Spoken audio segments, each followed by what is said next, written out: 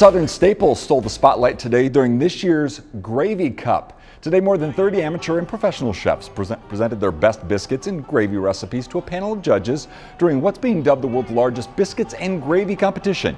It took place at Mellwood Arts Center. The proceeds benefit the Boys and Girls Haven, a foster care located in Louisville. There was lots of live music, a kids zone, and of course, a wide variety of biscuits and gravy. There's all kinds of gravies. We had we had non-traditional, traditional, people's choice. We had newcomer gravies. It was it was just amazing. This is the 11th year for the Gravy Cup. The Louisville